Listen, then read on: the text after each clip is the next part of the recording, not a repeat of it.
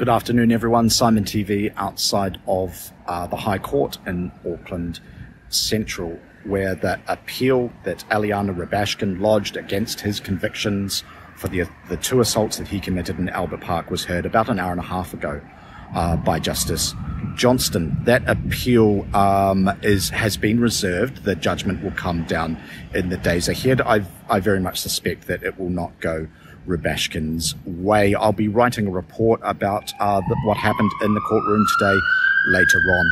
Uh, but here I am filming outside. I was hoping to catch uh, Rubashkyn uh, leaving the court.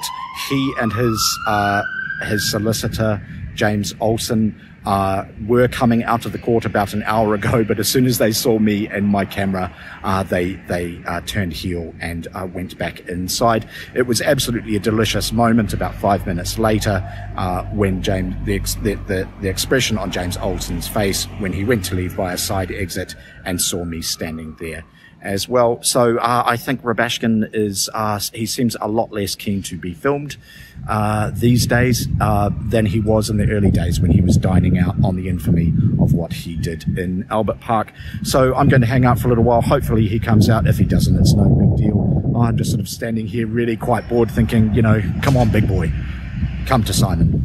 Anyway, um, I will write that up uh, and I'll talk to everyone later. Thanks for tuning in. Speak with you soon. Bye bye.